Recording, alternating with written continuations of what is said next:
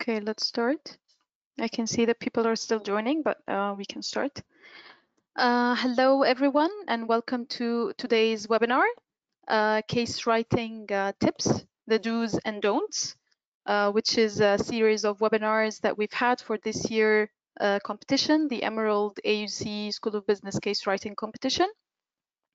So I'm just going to start with a few um, housekeeping tips. The uh, orange arrow opens and closes your control panel, which is on your right. You can change the audio option to control uh, to computer or phone. All attendees' microphones are muted. And this is a practical workshop, so you can free to send your questions and comments and share your experiences during the session, and we will be answering you towards the end of the webinar. The presentation will be recorded and will be shared on our social channels, and it will be sent as well um, in, um, in the post-webinar emails to all of the registrants. My name is Nadine Salah. I'm the marketing manager for MENA, uh, Pakistan and Turkey. And uh, today I would like to welcome our panelists, Inji Magdi and Shireen El Professor Virginia Bodolica, and Melissa Close. And this is our schedule for, for this uh, webinar. We'll start with a brief introduction and then uh, the talk by Inji Magdi and Shireen al and then we'll dig deep into the uh, case writing uh, techniques, tips, all the do's and don'ts by Professor Virginia Bodolica, and then a brief about the competition, and then we'll go through the Q&A. And now a brief introduction about the speakers. Inji Magdi is the director of El Khazindar Business Research and Case Center, and Shireen is the senior specialist at the El Khazindar Business Research and Case Center. Uh, Dr. Virginia Bodolica, she's the Said T. Khoury Chair of Leadership Studies and professor at the School of Business Administration, University of Sharjah in the UAE. Melissa Close, she's the case commissioning lead at Emerald Publishing. And now I'll give the floor to you, Inji. Uh, okay, hi everyone. Uh, it's now good afternoon from Cairo, Egypt. Um, we're honored to welcome you to this webinar that is launched in partnership with Emerald. This is part of the activities that we do uh, under the umbrella of the Emerald AUC School of Business Case Competition. Our whole aim is to support you in your case journey, be it case writing or case usage, um, and our primary objective for this workshop is to support you in the case writing. And we hope that this helps you in submitting to our competition as we are encouraging submissions from our region. Um, and definitely no one can do it better than Dr. Virginia. So I don't want to take any further time uh, from this uh, precious webinar and I will just leave the floor to Dr. Virginia and we're looking forward to hearing more from her. Yes, and we second that. So, Dr. Virginia, I'm giving the floor to you. Thank you very much, Nadine. Thank you very much, Inji, Shireen, and obviously Melissa for this beautiful and wonderful initiative that has been in progress since a long time. So we are looking forward really to have a very successful year in terms of submission to the case writing competition. So I'm here trying to share my screen with you and share this beautiful announcement about the Emerald AUC School of Business Case Writing Competition for 2022. Uh, you can see that uh, the marketing team from both Emerald and AUC and uh, Khazindar Business Research and Case Center have done an amazing job in terms of uh, advertisement, in terms of colors, but also I've noticed they highlighted very well that I'm going to be one of the competition judges, right? So uh, I'm the most uh, actually appropriate and relevant person to talk about the competition and to give you some hints and advices about how to do, what to do in order to be successful in this uh, round of uh, competition. So basically, there are a lot of things to be done, but the girls made sure to tell me that I have a limited amount of time because we would like to make it as interactive as possible. Um, we are back to some normalcy. Um, wherever you are in, in the world, I hope you have the opportunity to go back to face-to-face -face and to interact with people, particularly that our case method is so much more lively and dynamic if it is done in the classroom with physical interaction with people there where they can show the emotions, where they can analyze the behavior of other people through not only uh, by reading the case, but also even enacting some of the practices that are highlighted in those uh, amazingly well-written case studies. So we've run this competition several times, of course, at AUC and uh, in collaboration with Emerald. And we do hope, and um, several, of course, um, stakeholders will highlight the deadlines and when and how you have to submit. I will be focusing more on this uh, part of, of the content related to how to write, what to do in order to be uh, successful in this competition. So the title is very appealing, case writing tips, do's and don'ts, uh, uh, right? But at the same time, there are so many, so many aspects to consider when you do submit the case for competition and obviously later on for publication in the collection um, of the uh, emerging markets case studies, which is published by Emerald. Um, I do go through different techniques uh, but towards the end, I do still have uh, two slides where I do highlight in green color what it is that it is a do and in red color what it is that it's a don't. Or what are the do's and what are the don'ts right? Kind of summary of all uh, uh, the webinar that we're going to have today in terms of content in terms of what to do and what not to do what not to avoid I've been uh, on the editorial board of Emerald uh, Emerging Markets Case Studies Collection also since quite a long time. And I do with the type of, of case studies that are submitted for publication, I do have uh, a kind of um, very valuable advice to give because I do see common pitfalls or maybe common mistakes that happen from time to time with those submissions. And uh, with these final two slides in particular, I do highlight the most important aspects that are just the key requirements for you to enter in that in, in this competition right? And then after, of course, uh, it is a competitive world. We always say uh, we are living in a hyper-competitive, dynamic world. And obviously, the stronger other cases are, the more competitive uh, the, the whole process is. And sometimes small, tiny elements make a difference between a very strong case and a winning case, right? So um, those are the aspects that will emerge also in the process of this webinar that I'm going to also highlight through a couple of slides that I prepared here. So one of the interesting things that I always like as I start talking about the case studies in general, um, I do like to convince the audience and the audience are faculty just like me and other people, practitioners, those can be students, doctoral students, master students, undergraduate students. Uh, I'm sure many of you who wrote case studies uh, involve uh, a lot of students on their team in order to even gather the data, tap into the most interesting uh, dilemmas that are worth solving and addressing in today's world.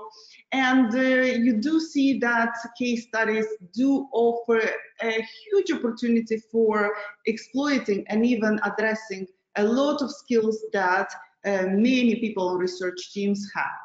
So uh, according to what I um, have as a, as a perspective on these cases and then the skills, I do believe that writing pedagogical case studies, right? And that's uh, very important to, to, to understand that this is about pedagogy. This is about teaching enhancing our value of learning in the classroom. So those are the real case studies that we are addressing here. Allow us to tap into 40 competencies, and those are 40 competencies that are highlighted recently in, a, in, a, in an article from Harvard Business Review. One of the things that writing case studies uh, allow those people, the writers, the faculty, whoever the person is, to do is to explore really very innovative opportunities. And this type of competency is highlighted through the word trailblazing. So by writing pedagogical case studies, teaching case studies, everybody can really find new ways to use knowledge and expertise. Uh, there are many people who have the talent of writing and writing maybe in a, in a, more engaging and artistic way, not to bore the audience, but rather to intrigue the audience about the dilemmas that a given company is facing, so that you can use that artistry of language in order to put these dilemmas in writing. So pedagogical case studies are amazing venues for the people who have this talent of writing, innovative writing, uh, to use this intricacy of the language to actually write those case studies in, studies in a way that uh, they are appealing and they are very interesting and they're obviously very relevant in the classroom. That's one. The second, tool making. Um, the case studies are very diverse and in, in, a couple of slides there you're going to see that there are case studies that can be compact cases. There can be very long cases. There can be cases that are uh, more narrative. There can be cases which are based on using some digital techniques like uh, cartoon storybook cases where you enhance the visuals and you represent the whole story in terms of some cartoons to enhance the understanding and empathy and the students uh, capacity to, to put themselves in the shoes of the protagonist in order to be able to then act upon a given dilemma which is highlighted in that specific case. So tool making, the case in itself and the, the, teaching note, which is fundamental and has to be really the piece of information that is particularly addressed to the instructors using that, that specific case, allows you to create a lot of tools actually.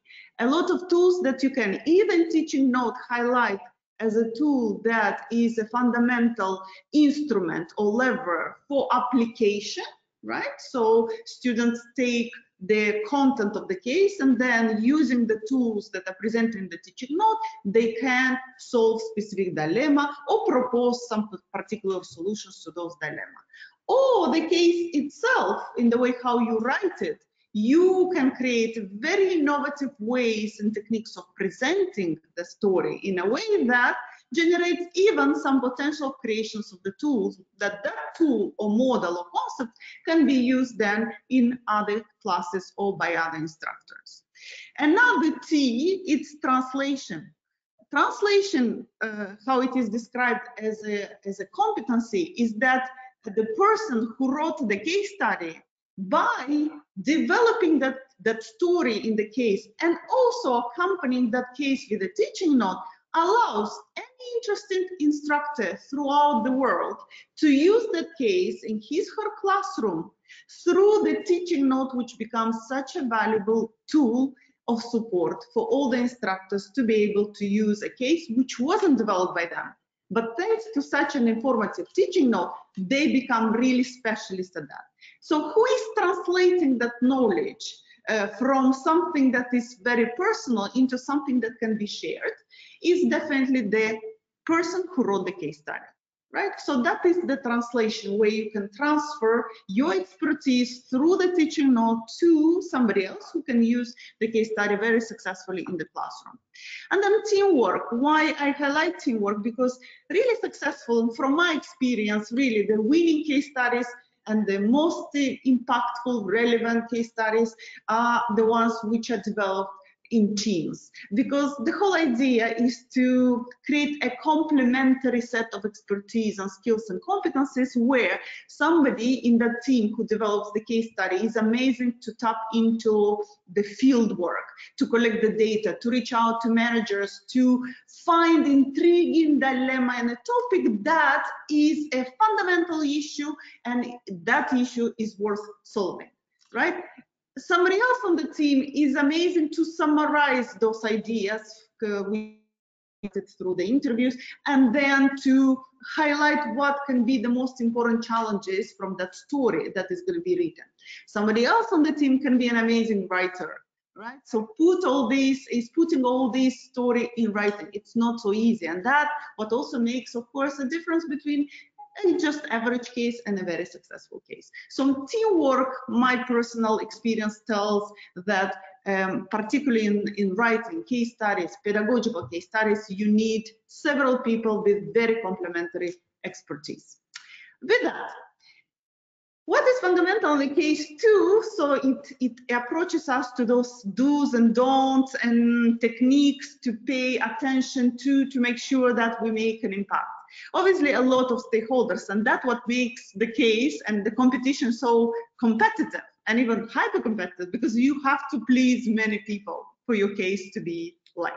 So several stakeholders definitely. Writers ourselves for me, for example, I cannot submit a case to a competition until I am not personally satisfied and proud of what I've done. So sometimes it really delays me and uh, sometimes I can miss a deadline and that's really bad, but it happens. So I'm uh, so meticulous with developing the story until I'm not fully happy with it, I'm not going to submit the case. So if there are several people on the team, imagine how much more difficult it becomes to produce the piece of writing, which is satisfactory, but not only satisfactory, but even engaging and really, really relevant for other stakeholders to also like that. Instructors who are going to use your case in their own classes. Of course, students, not to forget, those are the most important stakeholders to whom we address that. What about the people who share their perspective uh, with us and we collect those data to write about, about their stories, protagonists, right? Those are important. We do want, of course, to publish our cases, right? And particularly the EEMCS is a Scopus uh, uh, ranked journal. So it's very uh, competitive too to publish at the end of the day the, the, the, case in this collection. Reviewers are the people who uh, hopefully give us constructive feedback. If not, this is editorial's job to always uh, channel the feedback into the really um, constructive set of comments rather than destructive because the whole purpose is really to provide developmental comments so that the case can always evolve towards a better piece of writing but also an impactful solution to problems that are being highlighted in the case. Judges we're talking about the competition in particular so judges are also human beings and they might have some preference in terms of what is most impactful right now, what is most uh, most uh, uh, challenging right now, given the the context, given the situation, given what is going on in the world. So the topic has to be really impactful and has to be timely, right, of the case in itself. And of course, peers, because we're talking about competition. So we've just said uh, we do compete against each other in this competition. And the more intriguing, the more timely, the more developmental um, the, the, the case is, the more likely it is that the case is going to win the competition. And believe me, the satisfaction that you get from winning the competition is really, really huge. So with that, two things that I know that most of you know, but it's fundamental because sometimes people either over um, or under-emphasize one of the two crucially important elements which go hand in hand. I cannot stop emphasizing this. It is equally important to pay attention to the case as much as it is to pay attention to the teaching note. I, for instance, did win in the past different case writing competition, and there were cases and situations where judges, in the recognition of the different uh, um, awards that were given, uh, were highlighting, uh, for instance, the two documents are very strong, but one in particular, which really made um, the difference between being an average and then a successful case in, in the competition was the teaching note. So what I most commonly see from the experience being on the editorial board of several uh, pedag uh, pedagogy-driven, obviously, case studies, um, is that um, most submissions do emphasize the case, do develop the case, but then teaching note really stays behind. It's much, much delayed in terms of uh, timeliness, but also in terms of content that has to really accompany all the different elements uh, uh, which are presented in the case study. Sometimes you do have a lot of information in the case, but then the teaching note in itself has a couple of pages and where through the analysis which is presented, which is very superficial, most of the information from the case is not being used.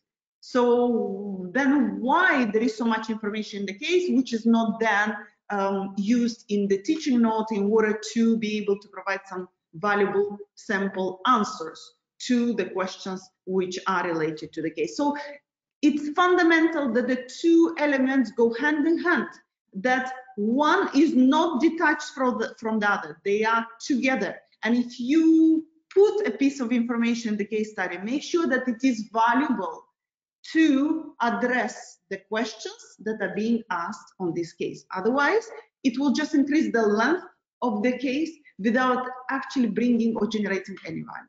So it's very important to combine those two and definitely if they go hand in hand and there is this iterative process between the two. So we make sure what we write in one is valuable for the other and what we write in the teaching note is actually uh, withdrawn or taken from the case itself.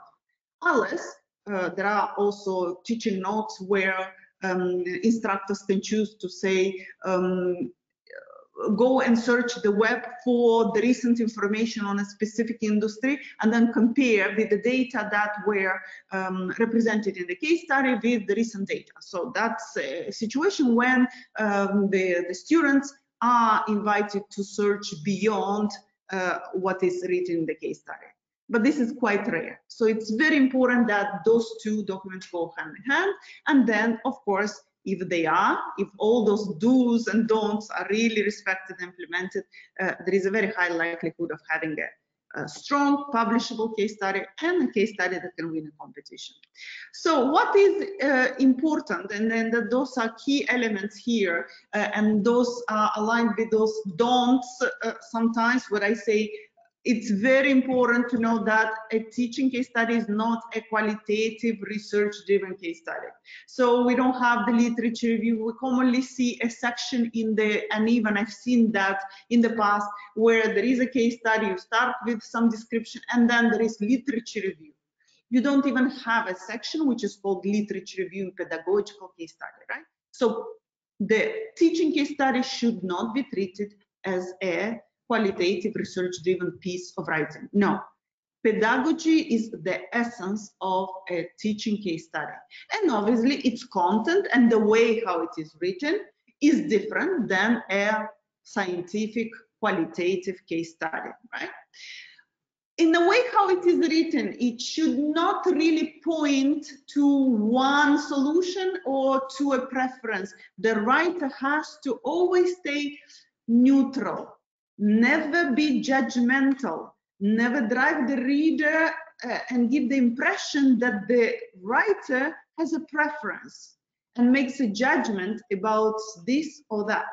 So always the writing, and again, we go back to these do's, uh, which will appear at the end in a couple of slides, you'll see that the do's have to be a, lot focused on the way how you do that. And that's a really a technique of, of writing. How do you present the information in a way that you stay neutral, but at the, at the same time, you hook the reader, uh, right, uh, and you attract attention, and they are interested to read till the end to see how the story um, develops what is the culmination point? What is that key challenge there that needs to be addressed? Uh, obviously, uh, the, the, the, information which is presented there um, has to be selected based on the questions that are going to be then highlighted in the teaching notes.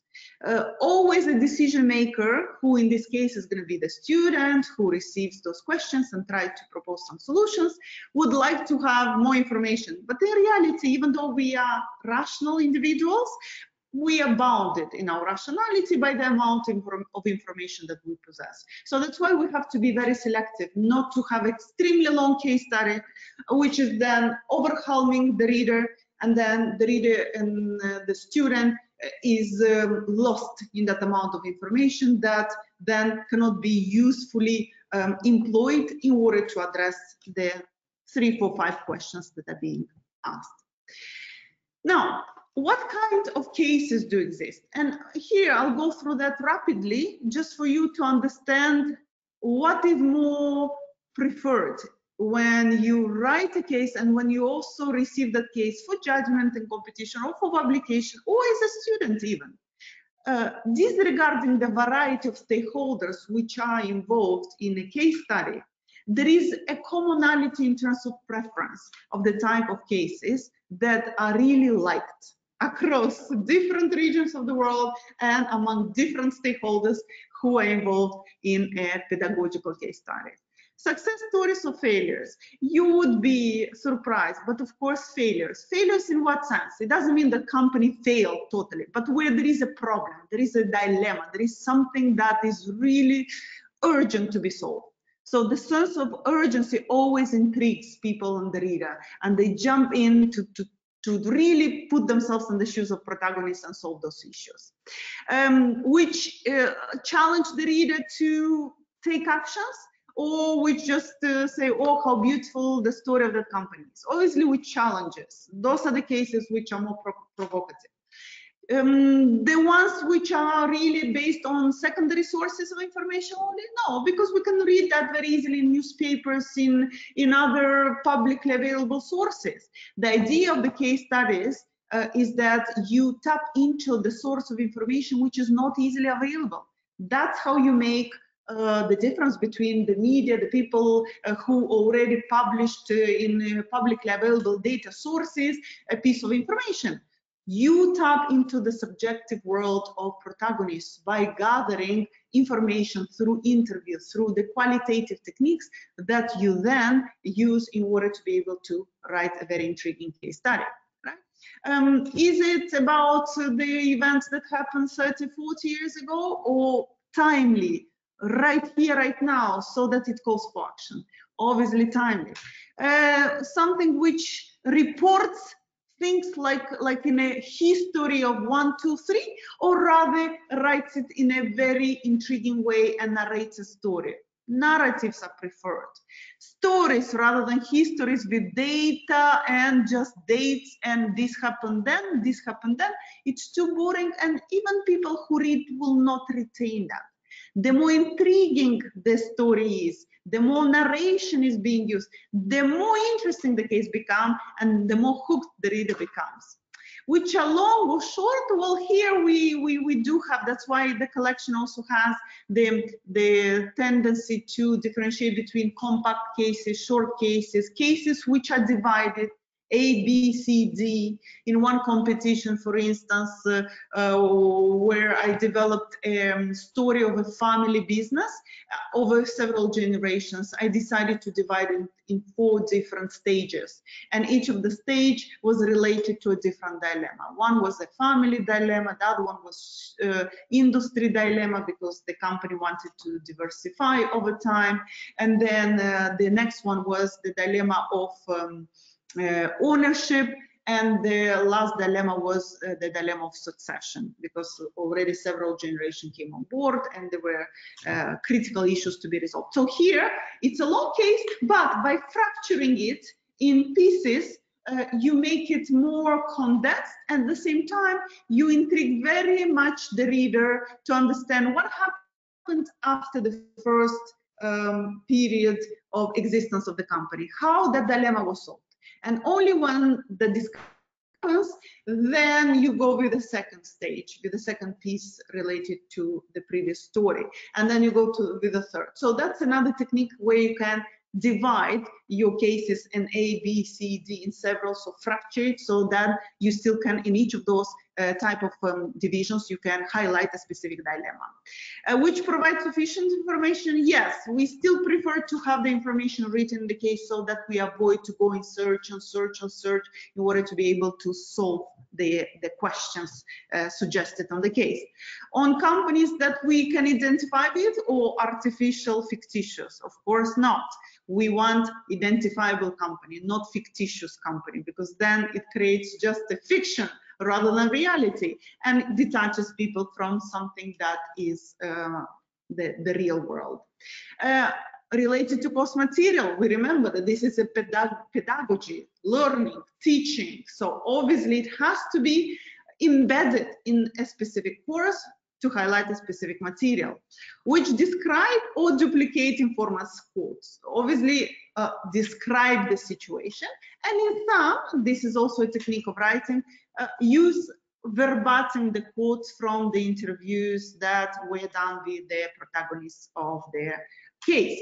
And which are pro provocative challenging or not? Of course provocation challenge dilemmas problems are always more intriguing. And those are the cases which are liked so look in those two slides here set of pages of slides you can see that already you have a lot of do's and don'ts right because this is the summary and the reflection of really the preferences that all the stakeholders have in terms of what type of cases we would are more likely to be successful and are more liked and more impactful, obviously, right? So great cases capture, and I like to repeat it and repeat, and still there are many if they fall short because there is something that is missing. And uh, I know that, like I just highlighted the competencies that we have when we write case studies, the same thing I would like to highlight for the great cases which capture something essential. Typically, I refer to them either as six P's or five plus one P's because that additional six one is the one which is dependent very much on the judge, if we talk about the competition or judges, uh, or if we talk about publication of this successful case, uh, it depends very much on the editor. So we'll see that last P, which is also fundamental in uh, the decision of whether a case should be winning or should be published or not. So really, a case study cannot not succeed if it is focused on the following five plus one P's. Uh, as we've seen before, the problems-driven uh, cases are very light, are very impactful.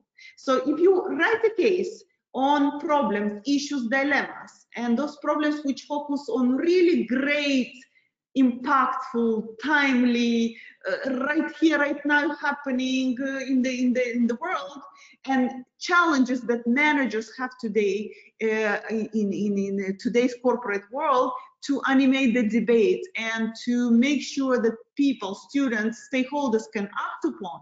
Definitely, it's already one step towards winning. So problem-driven cases are by far uh, the most interesting and the most liked and the most impactful. That's one of the P's. The second, do not forget to write the subjective world of people, the protagonists who are the ones living and experiencing the problem within the corporation. So make that protagonist speak in the case. How do you make you make the voice of those protagonists being heard through the case study. How? Well, you use the quotes from the discussion. You create the, the, the dialogues between the people. You describe the emotion without saying this is good or bad. Let the reader decide this is good or bad or it's neutral. At the end of the day, it's not to put a qualifier good or bad. At the end of the day, it's to, so what? to act upon, to solve, to put ourselves in the shoes of those protagonists. So it's very important to make the voices of those protagonists being heard. So the people who are solving the issue put themselves in that protagonist skin and imagine if I were to be there, what I would have done. Pieces, intriguing situations, interesting stories, dilemmas that happen in particular specific environments. Look, if you look at the story of the winning case studies, right, in different competitions, there is always something, something which is very timely. So if we are saying there is a huge, for instance, uh, unfortunate natural disaster that happened, and there is an, uh, an amazing example of how a company could solve um, the, the issue of this natural disaster through an amazing response management or crisis management. So that definitely would attract attention because it happens, it's very timely, it is right now, it is impactful. In some countries, as opposed to others, for instance, we do not have the same access to basic sanitation or some, uh, let's say, some layers of the population do not have access to education or to very basic uh, healthcare services. And particularly, we can even address a specific topic to a specific layer of population like young girls and young women with particular needs that they have. And then the company which comes up with very innovative solution to address that specific need.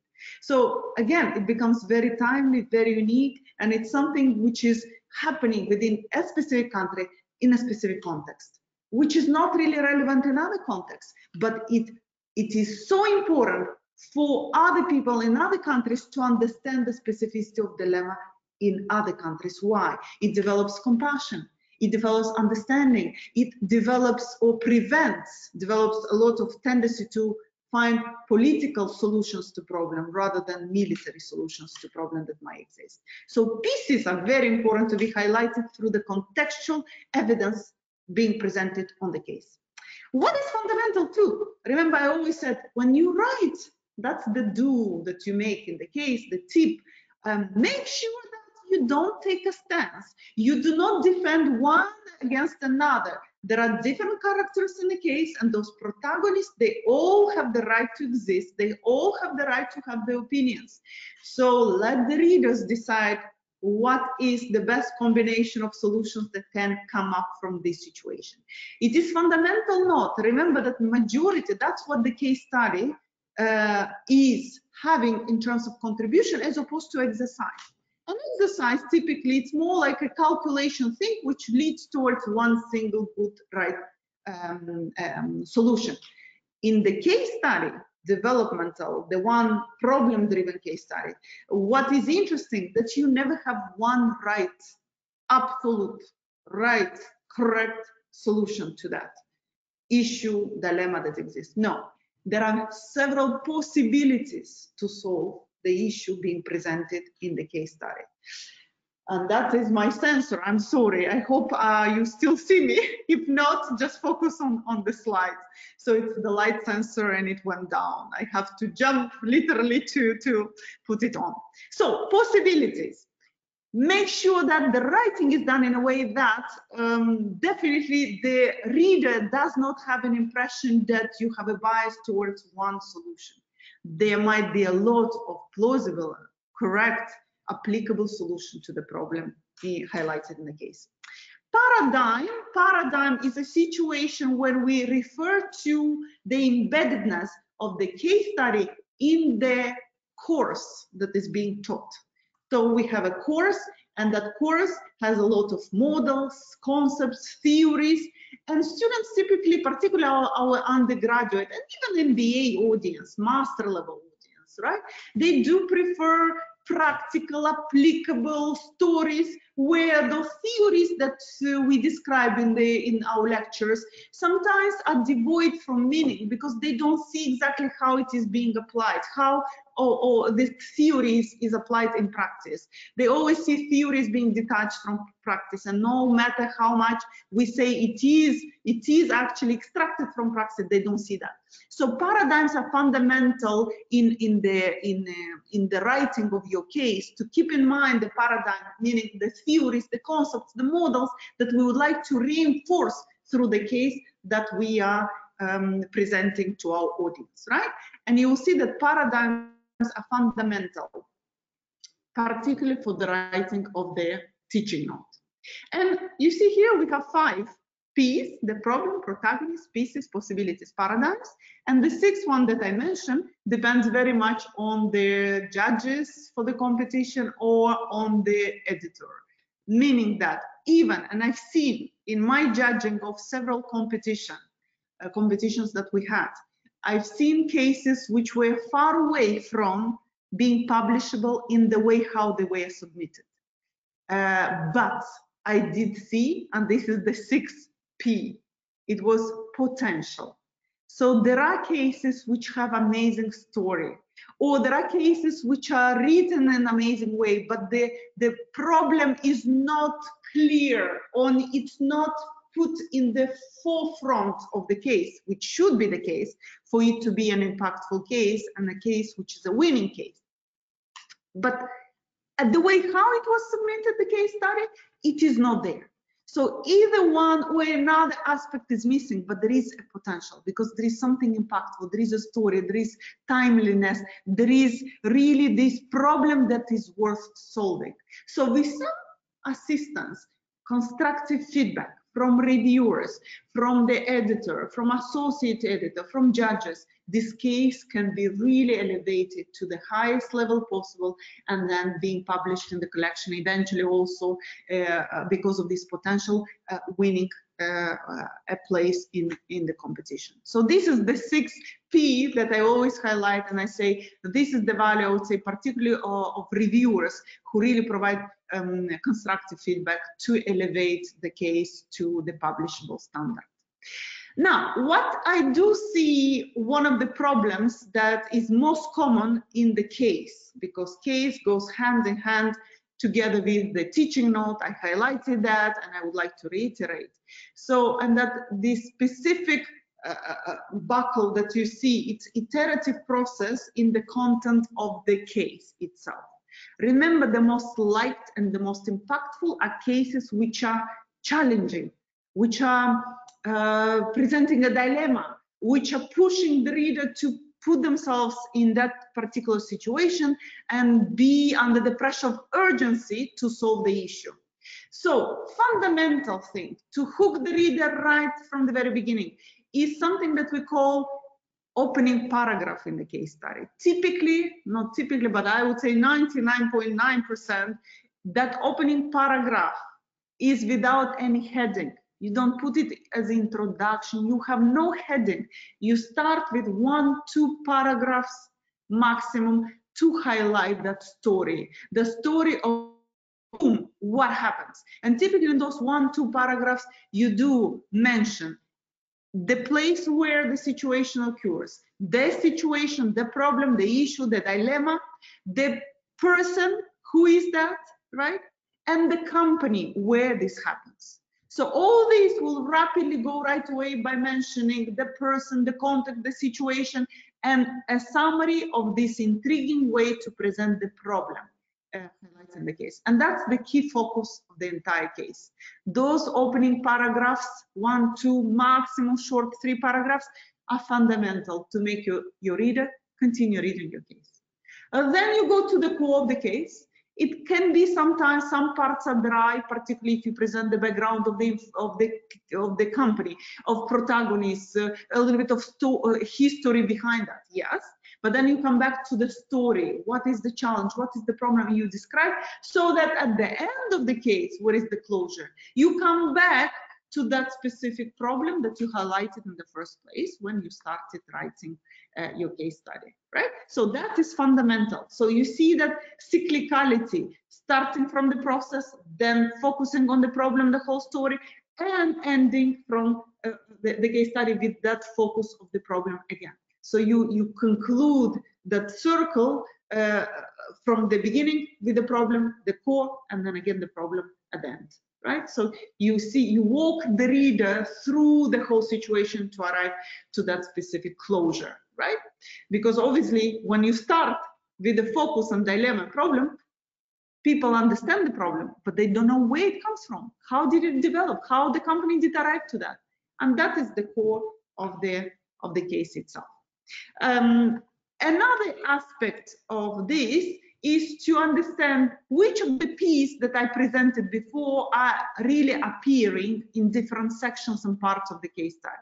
You will see that the focus, uh, which is about the critical issue, problem, dilemma, you will see that the P of the problems is the critical one to be appearing at the beginning of then you can very easily use your artistry of highlighting the other piece. For instance, the P of the pieces like the story, uh, the context, the situation, all this is going to be described in the, the, the, middle of the case, right?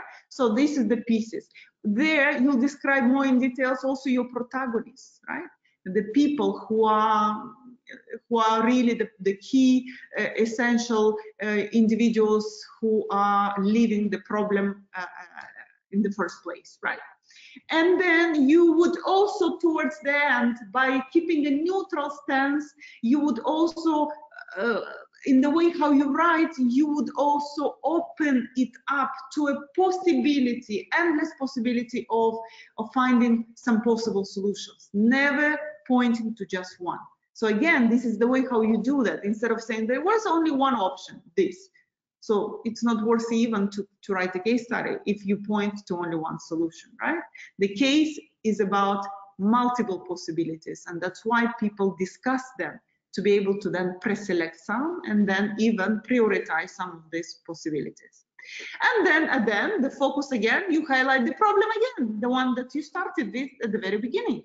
So I've seen also through this the, the, the past uh, competition that I judged in the editorial board, um, there is a detachment between the problem that is highlighted in the beginning and the problem that uh, concludes the case. There are two different problems, right? And that's not not consistent. We are still in the same case. We are still in the same story. So we have to conclude with the same very problem that you started the opening paragraph with, right? What is important to also know that there is one P that you will never explicitly highlight in the case, but you will talk about it in your teaching note which is fundamental. I've seen many times the causes of rejection or of weak cases. It's not the case, but the weakest link, as we know this metaphor of the weakest link, is the teaching note, right? So very important not to underestimate the importance of the teaching note in terms of obviously having a very strong and solid case study. So you have a couple of criteria here which summarize, I just put them here. I would skip to go more to those uh, uh, key advices for the do's and don'ts. Uh, in the teaching note, given that it's a document which is uh, going hands in hands with the case study, it's very important that we do have sections that have to be included. I've seen again from the past iterations in judging and in, the editorial boards. Um, literally, the teaching note has uh, synopsis and then maybe two, three questions and not even very well developed sample answers to that and the teaching note ended. It is fundamental to have all those sections that you see here on the screen. Yes, there is synopsis. Yes, the case is teaching case. So we need to position that within a given course, within a given level, undergraduate, graduate, and even PhD. There are cases even for that. And when it is used, after which chapter, after which type of material that you are covering in, in a specific course. Fundamental to highlight the learning objectives. We still do not have learning objectives in many situations which are aligned with the level of sophistication of the course. There are sometimes um, cases written for master audience, but the learning objective is uh, like understand. First of all, learning objective of understand is not a good one because you cannot measure the understanding. You have rather to say application to something or development or creation through the verbs that I'll, I'll present to you just in a second as a summary. So learning objectives have to be sufficiently complex or aligned with the level of audience. The um, if we are talking about the undergraduate uh, audience, obviously the learning objectives are going to be less sophisticated, less difficult. Now, if we are talking about more elevated graduate audience, obviously it's going to be more sophisticated, more application type of uh, learning objective, more creation, more solving in, or providing innovative solutions, right? Um, many still uh, ignore to put a, a, section on methods of data collection and analysis. It is not a qualitative research driven article. It is a case study, pedagogical too. But in the teaching note, we do say that this is a real case study, realistic on a real company, not fictitious one. And this is how we have gathered the data using this and that at that time with those people in so many iterations in so many sequences right and how we analyze the data so that we wrote a case study. So it's very important. Uh, detailed teaching plan with teaching board, fundamental. Theories, many do really lack on theories, models that are to be reinforced in this specific type of um, case study, right? So this has to be written very clearly in the teaching note. Suggested readings for case usage. What kind of material you would use in order to be able to successfully solve and prepare the case study. List of discussion questions. And then fundamentally important, the sample answers for those. Many do ignore, say, oh, we can ask the students and that's it. No, no, no. You have to really provide a very detailed sample answer. And of course, there are techniques to do that in a very successful way. And what students really appreciate is epilogue, meaning what exactly? Because by the time that the case is published, uh, maybe one or two years elapsed. And when you bring the case in the in the in the class, um, already the reality is more updated. So bringing that situation to life in the case study that is being discussed in the class, but also in the class itself, and saying, well, in reality, that's what uh, the, the, the, protagonists have decided to do. That was their, their, their solution but only after the students already analyzed that. So it's very important to include the epilogue in the teaching note too, uh, in order to actually uh, give um, an update on what really happened afterwards, after the case uh, um, uh, data on the case were collected let me, given for the concern of time, let me go to the tips uh, right away so that we can summarize in a very um, important way the key, the key do's and don'ts. Uh, maybe I will go to this uh, here and then I'll have those slides on do's and don'ts to conclude my topic Mm, of discussion and then to allow sufficient time for Q, Q&As, question and answers. And it's going to be my pleasure to really answer what is more pressing for you, what is the element that you would like me to highlight more in details and give advice. I can't really stop um, telling how important it is the writing style. The professional writing style, which is not casual, at the same time, it's not using very heavy scientific terminology right? So it's a, that what makes it engaging, relevant, practice oriented, but at the same time, it's not just casual piece of writing. It is still supposed to be professional.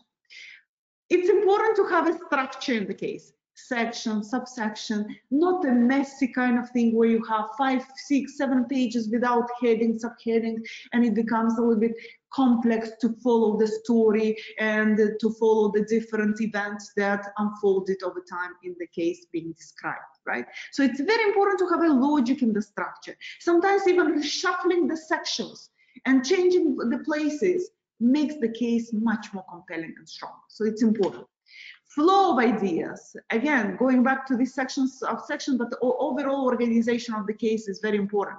So how you structure and how you allow the reader to follow the development of that case story is also fundamental. Consistency, don't contradict. Sometimes there are contradictions there, not because protagonists have contradictions, but in the way how you present the story itself. You say one thing and then you end up doing another thing, and this really confuses the reader. So it's very important to follow that yes it's very important the grammar the sentences uh, i've seen many times particularly if uh, this is the case of non-native speakers uh, the collection does uh, publish sometimes in special issues in, in in other languages like french and spanish we've done that. But given that we talk about the the competition that we would like uh, to encourage you to submit your cases to competition first and then uh, automatically all your submissions will be considered for publication in the um, in the collection. Obviously it doesn't mean that it will go directly it will go through peer review again and it will go through back and forth the editors and the reviewers and everything but uh, it is very important that uh, the case is written in a professional language without those mistakes and problems uh, of grammar and uh, sentence length. Sometimes sentences are long, five, six, seven lines, right, uh, long. So it's very important to to make it easy to follow at the same time in a way that it is still written in a professional uh, language. Don't underestimate the importance. Remember I said tool making? Sometimes a piece of information can be conveyed in the form of a table, of a chart, of a graph, rather than writing two, three, four pages. If you can shrink it down and put it in a visually enhanced way so that you don't occupy, occupy a lot of space in the case and you just present that in form of an appendix or a graph or a chart, that is really valuable too, right? Good. With this, I would like to go into, apart these writing techniques, I would like to go into these very important tips uh, that um, are fundamental, particularly when you submit, because you will submit to the competition and then it will go into the submission system for the for the journal to be considered for publication. So there is one uh, several advices i would like to give you because it comes from the experience that i've noticed the most common mistakes. So first it's very important check the submission requirements the website is really informative and tells. There should be four different documents submitted. And i think in the previous slide uh, i do mention these four the case study, the teaching note, right? Two documents. The title page, there is a template, and there is consent to publish or release form that allows um, the, the, the uh, competition uh, judges to consider the case for the competition and also the publication process when uh, the case is submitted for publication. It's very important that there is a release form which allows uh, the authors to release the story of that company and for it to be published in publicly available uh, spaces, right? So that's very important. There are four of those documents that you have to submit, right? So going back to that, uh, the key advices that I have, and then I'll conclude with do's and don'ts. Check the submission requirements and make sure that you submit all that is required. Because if one of those is missing, already you don't stand a fair chance to really run fairly through the process of this competition, right? And to win uh, the competition or to have a quite a solid outcome out of this competition.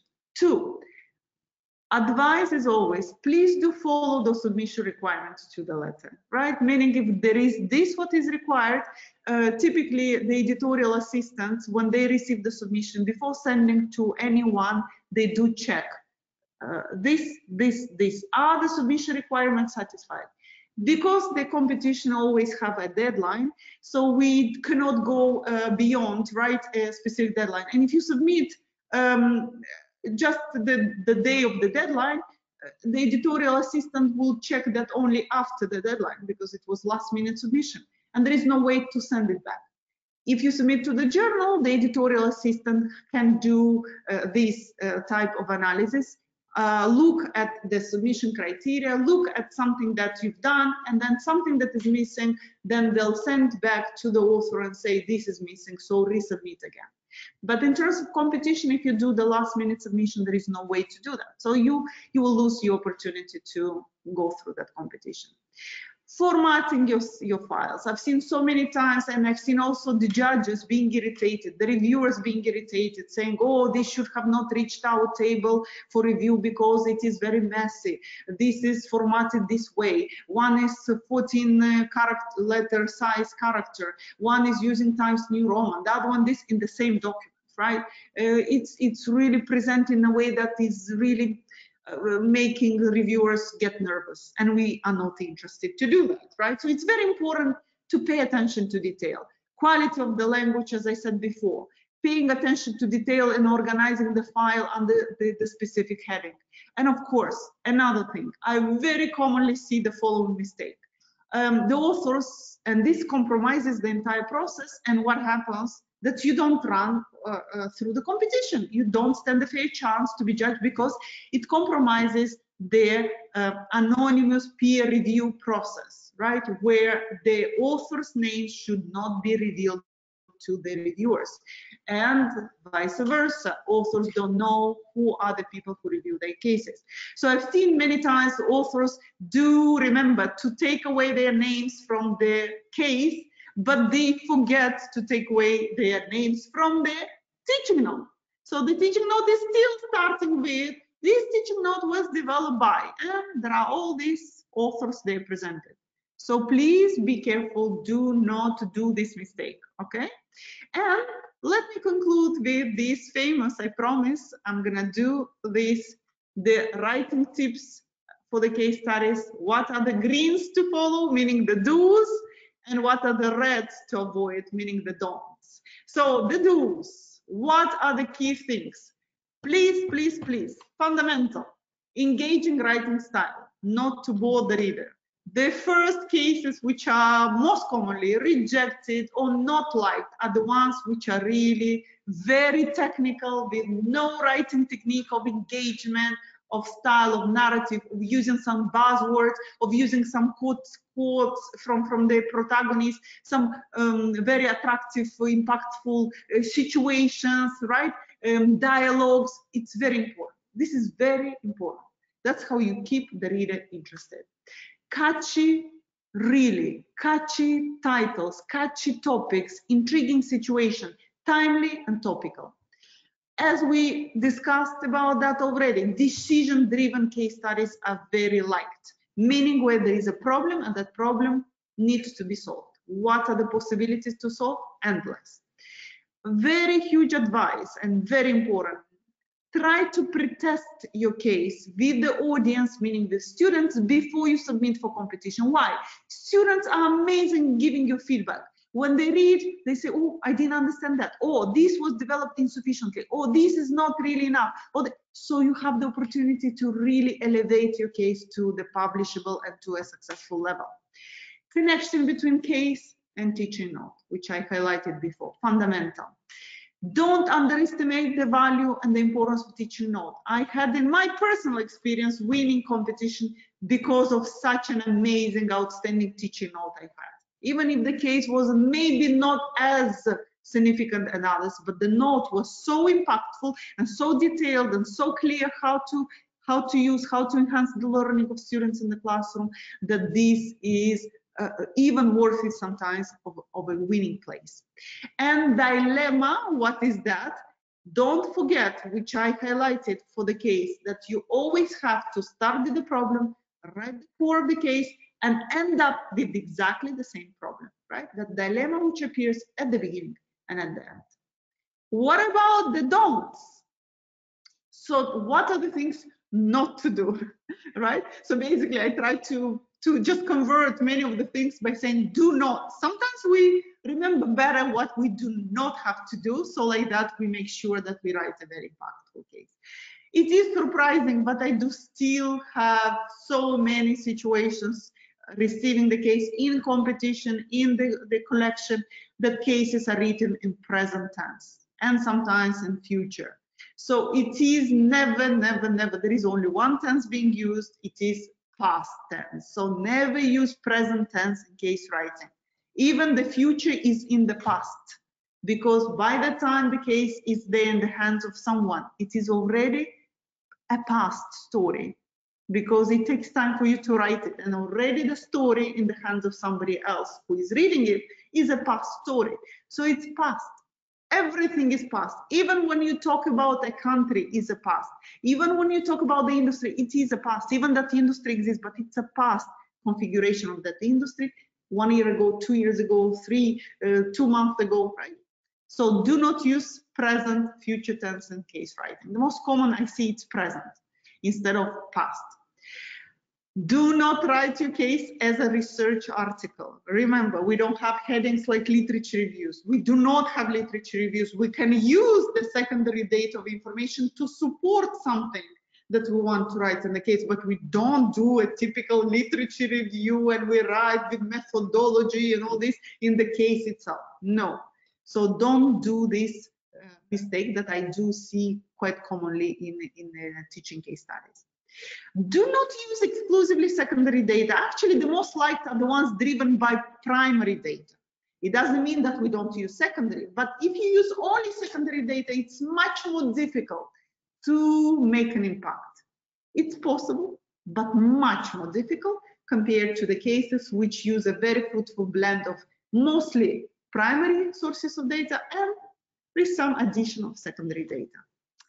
Do not use outdated material concepts. Cases on situations that occurred 10, 15, 20 years ago, even five years ago, pre-pandemic, the reality already now is different. so that uh, it doesn't really make an impact. People like to solve issues they can identify with, that they are still relevant and still timely.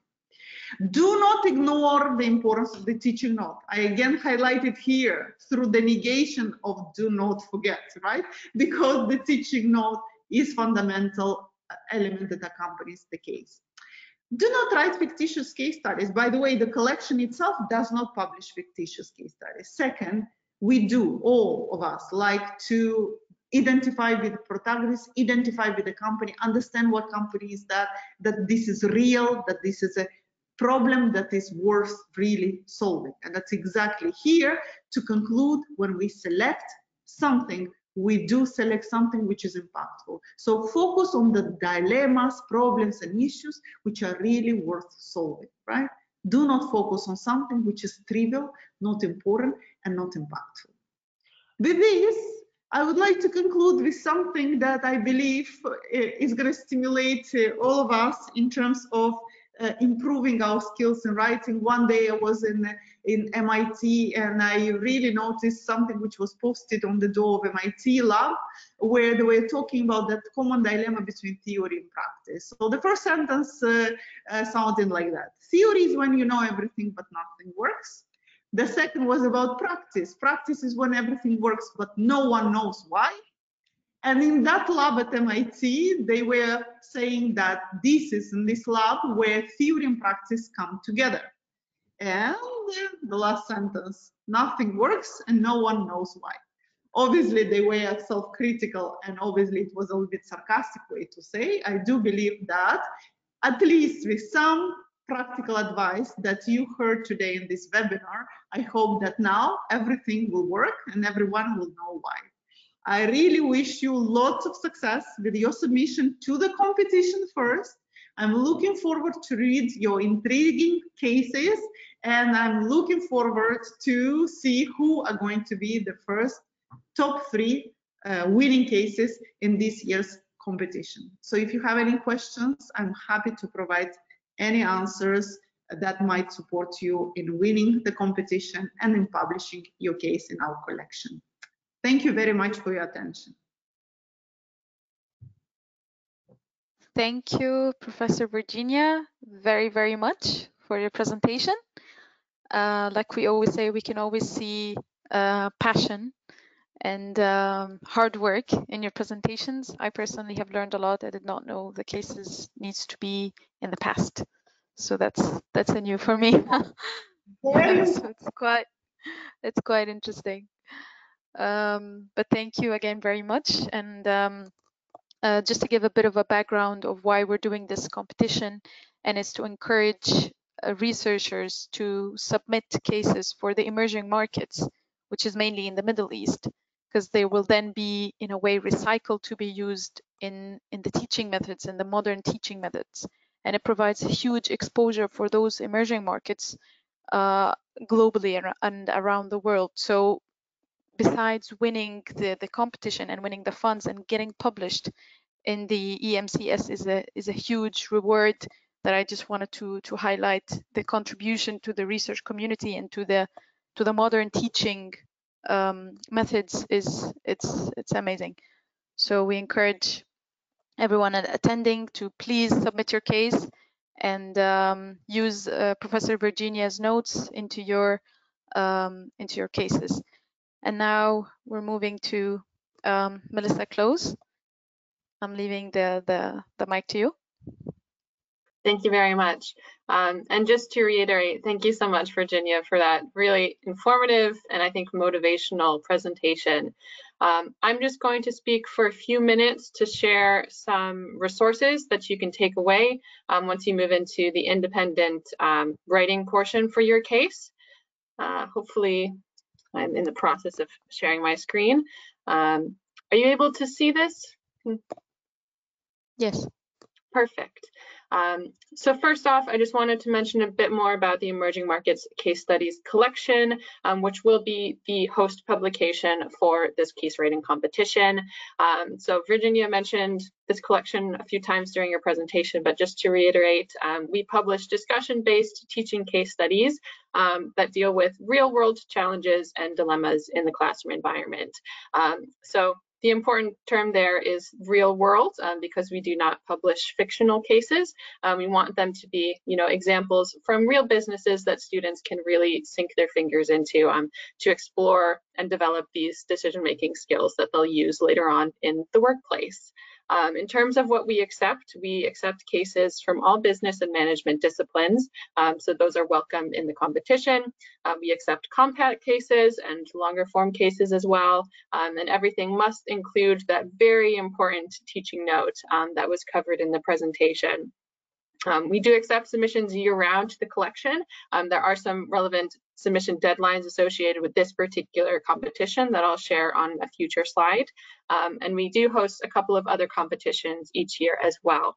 Um, and if you are interested in learning more about EMCS or getting involved as a reviewer, um, please do feel free to reach out to me at my email that I've included on this slide. Um, and now the promised resources that I mentioned. Um, so I think it's really helpful for for webinars to kind of get those gears turning um, and get you really motivated and inspired on your chosen topic. Um, once you move on to the independent writing portion of your case study, there are still some resources that you can turn to that Emerald provides to help you if you know you have any questions that come to mind or you or find that you're getting stuck in one particular portion of the writing process. Um, so the first resource I would mention is the Cases Learning Hub. Um, this is a completely free online platform that anyone around the world can register for, and it is very valuable because it provides an end-to-end -end overview of the writing process from the beginning, where you identify that need, where you want to address in your case study, all the way through to evaluating your case study and hopefully going on to get published.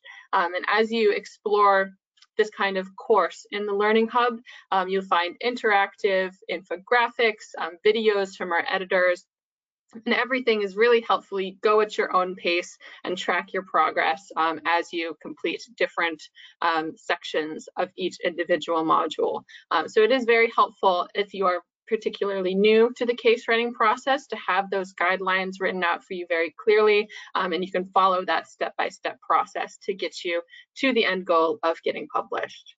Um, some things that are also available on the hub that I would mention in addition to kind of the core writing module um, are some other resources such as the teaching with a case study module. Um, so if you are looking to become more confident in, you know, facilitating classroom discussion, uh, maybe teaching case studies online if you're in a virtual environment, um, that module can be very helpful just to build up those skills a little bit more so you can feel um, kind of very much competent and confident to use cases in your classroom. Um, we also have a learning with case studies module, which can be used for students to conduct um, a more thorough preparation in advance of classroom discussion. Um, so with this, you can assign it along any case you are reading in class.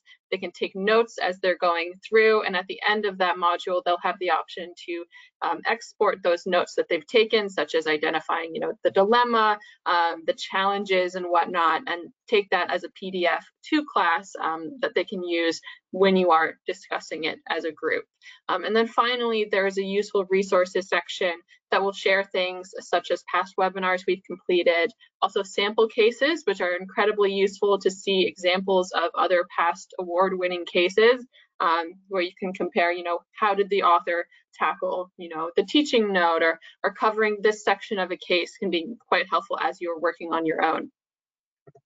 Um, and then just a couple of quick links to those key things that Virginia mentioned. Um, so first, you know, a guide to writing teaches, teaching cases, which we have available on the EMCS author guidelines, and also writing that teaching note as well. So it does have um, the list of, you know, what we expect and how you can go about preparing that. And then finally, the EMCS author guidelines themselves, which are very important to review before you submit. Um, and make sure that you've covered everything we require so you can move on to the actual judging portion of the competition. Um, if you are working on a compact case, we also have a book available from Emerald, um, which is the Compact Guide to Compact Cases, which is written by an editor of our other case journal. Um, this provides some annotated examples, um, helpful checklists, roadmaps, etc., for writing this short form of cases, because um, it can be challenging to write in this very concise format. Uh, so having checklists to help you out can really make a difference and and having a quality, you know, very good case study at the end of the process. And then finally, these are just the dates for the AUC School of Business and Emerald Case Competition. Um, so we are currently open for submissions. Um, our submission deadline is November 30th of this year. We hope to see many of you participate in the competition. Um, to do so, please just look at EMCS's um, ScholarOne platform where you can start a new submission. Um, and then we are looking to announce the winners in January of 2023 as the judging process will take um, some time. Um, there is an award pool available for the top three cases. I've listed the relevant funds there. Um, and by entering into this process, um, you will automatically be considered for publication in the MCS. Um, so even if you are not one of the top three cases, you still have a great opportunity to go on and get published. Um, and I believe that is all for my portion. Um, so I'm going to hopefully stop sharing my screen now um, and we can move on to some of the questions from the chat. So if you do have any questions, please do enter them in and then Virginia can go through and answer what you're yeah. looking to know about the case writing method. Yeah, we actually have a couple of uh, questions, so let's hope that we can cover them all. So the first one is, can the case or notes include the actual solution the company adopted? Definitely. So um, not the case. So in the case, remember that the case is all driven uh, by the dilemma and the issue that you present to the readers, in this case, our most important stakeholders, the students. In the case, you do not uh, write about the actual solution that the company has taken. However, in the teaching note, yes.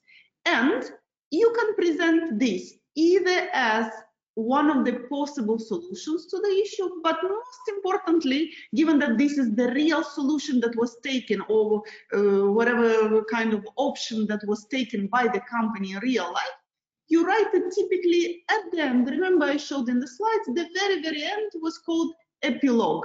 And in the epilogue, typically some people also refer to it as what happened in reality. And then in that final two, three, four paragraphs, you describe the real solution that was in real life implemented by the company.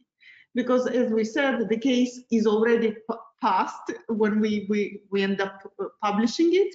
And then maybe one, two, or three years already elapse from the moment when you gather the information about the case. However, you have a knowledge about what happens in reality. So you write there, that's what the company did. They did this, implemented it, and the result was this, if you possess that knowledge. Typically, it's very, uh, very intriguing for the students to know what exactly, what kind of, of path to solution the company embraced. And uh, the hugest compliment I personally get in a in, in a classroom when I when I use my own cases, and this is the, the absolute pleasure to use your own cases because you know the case from A to Z. You started from collecting the data up till writing it and publishing it. So the most uh, intriguing and the most, I would say, it's a compliment uh, from the students if they really get so engaged to solve the, the proposed solution to the dilemma highlighted in the case and then after that professor professor but what what in reality happened? Do you know what happened? So they're so intrigued by that situation that they say but what the company did but what they managed but did they end up doing this? What was so if they ask you this it means that really the case hooked their attention so much that they really want to know what exactly happened. It happens mostly in cases when you have a very challenging situation and you have because of that to protect the identity of the company uh, attention. It's not a fictitious case. It's a real case. But just because the dilemmas are so sensitive to the protagonist that you are allowed to disguise the case. What does it mean? You don't really say the real name of the company and the real names of the protagonists to just protect their their identity But at the same time, you do describe the real situation. So, so I do have in some of those disguised cases, students approach and say, Professor, this is that company, right? That, that. I'm like, no, I'm not going to tell you. I signed the confidentiality agreement. I'm not going to tell you the real name of the company. But if they're so hooked, it means that you've done an amazing job writing the case. So yes, the answer yes, yes you write it. It's at the end. All right. Uh, the other question, what do you consider to be the word limit of a case study? And can a case study include different objectives related to different theories, for example, marketing and innovation in a case? And how should information from primary resources uh, sources be integrated into a case? Discussions, comments through the protagonist within the case. Okay, very good. So one advice, first, uh, I'll start from the end. One advice, how these primary sources can be integrated in all this. The best advice is always to read the examples of prior winning case studies. So you can see exactly that artist, because it's in theory, it's easy to put those slides that I presented today and then to say you should do this and this. In theory, we all know that. But then it comes to the practice and to start writing it. How do you succeed? Obviously with experience. You feel that with from the first case to the second to the third, you become better. So experience it's important. Second, you learn from others, you learn from the peers. So take those cases, the announcements from the previous year's uh, winners, we do have them. They are published. Most of those cases are already published in the in the in the journal. You can refer to this journal, download those cases, read those cases, and you're gonna see how this is accomplished in practice. Typically, uh, the, the primary sources of information are very important to address the the P of pieces and the P of protagonists, meaning that you're going to write about the protagonist through their own perspective because that's the information that you gather through the interviews right when you are you go to see the protagonists you you ask them and the, what they felt and the emotions and this and this will pass through the writing of the case the secondary sources of information are very important to give the background about the industry. You will not waste the time of the protagonist who is gonna explain you the industry is like that. There are so many competition, there are this and that, and the US, you want to take maximum from the protagonist to discuss about things that are not collect easily collectible or available in the in the secondary sources you'd rather tell about why exactly they were challenged in this what were the intriguing dynamics within the company that you cannot really know as an outsider because it's all protected within the company. So that's uh, secondary sources of information are very valuable to provide background about the competitors, about the industry, about the country that you can very easily gather from the secondary sources, right? Um, so that is where you, you put a lot of um, emphasis on that primary sources to highlight the context, the situation, the intrigues, through the lenses of the protagonists in the case. Now, uh, learning objectives. Typically, uh, because the question was, uh, can we have several learning objectives related to several courses and then uh, uh, make them all together in one?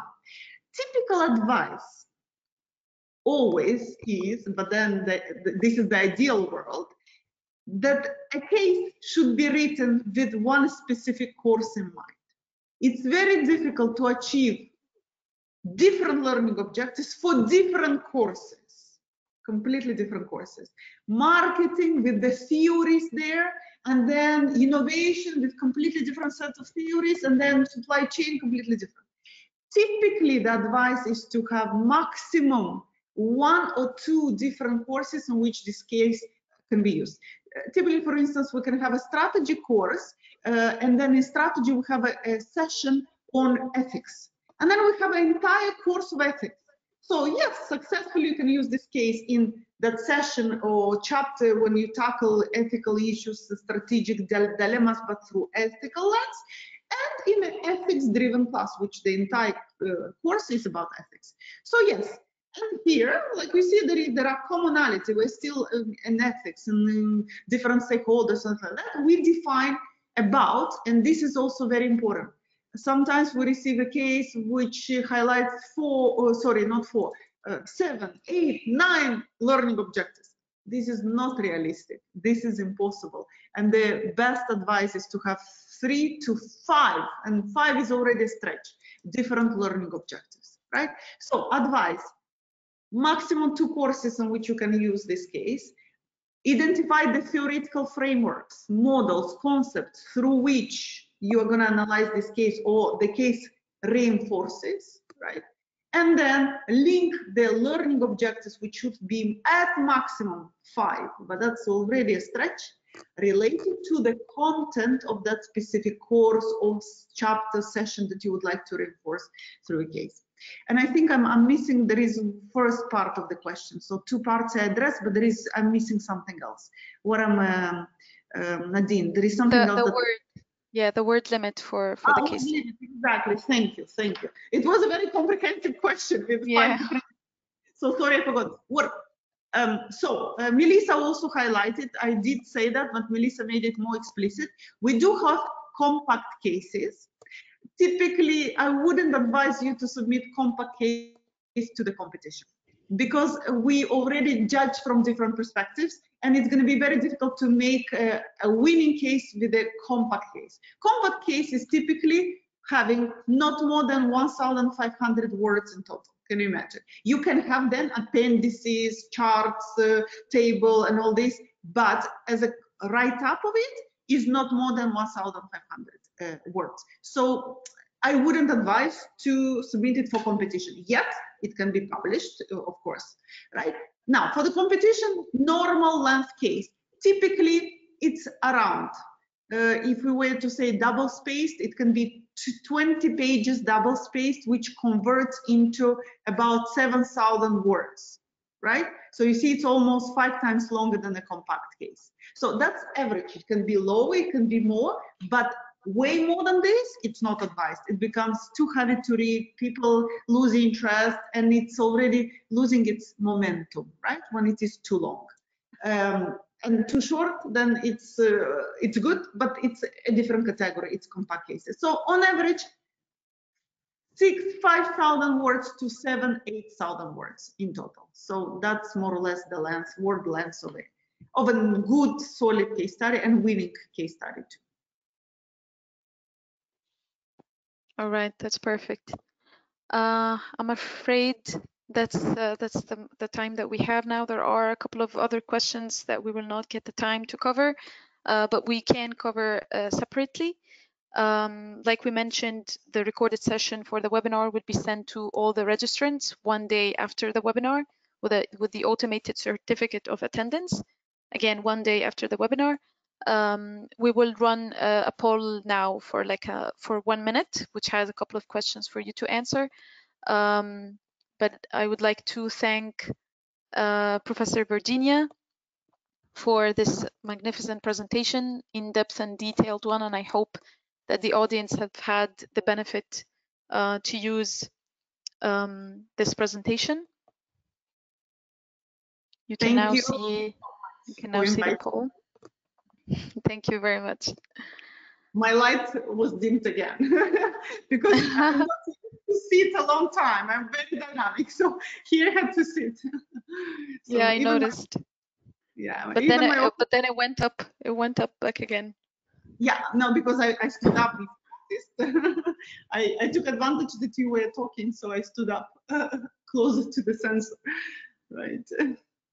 So Yeah. sorry, we, we have some dynamic flashes. I'll have to to stand up again. Okay.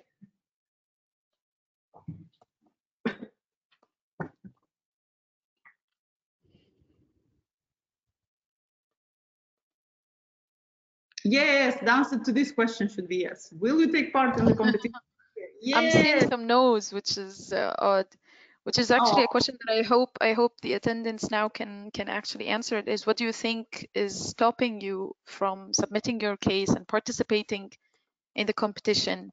As we're we're providing support for throughout these webinars, so let us know in the in the question section what it is that you think is stopping you from participating in the competition and um, yeah, submitting your case. Getting this amazing recognition apart the fact that uh, that you contribute to a dynamic society of case writers throughout the world. Yeah.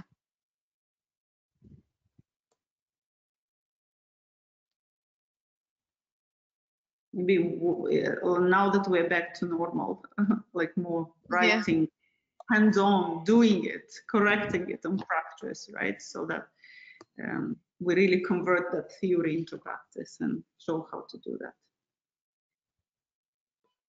Did you participate in 21 competition?